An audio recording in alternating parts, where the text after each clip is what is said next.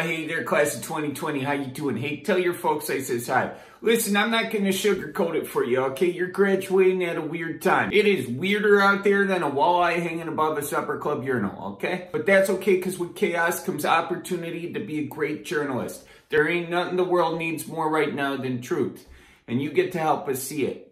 We could also use a beer, but that's another story. So be skeptical, not cynical. Sift and winnow. If times get tough, and they will, just keep her moving, okay? Well, they told me to keep this shorter than a TikTok, so it's time to wrap it up. You know, I, I would tell each and every one of you that I love you, okay? But I lack the emotional capacity to do so, so I'll just end with this.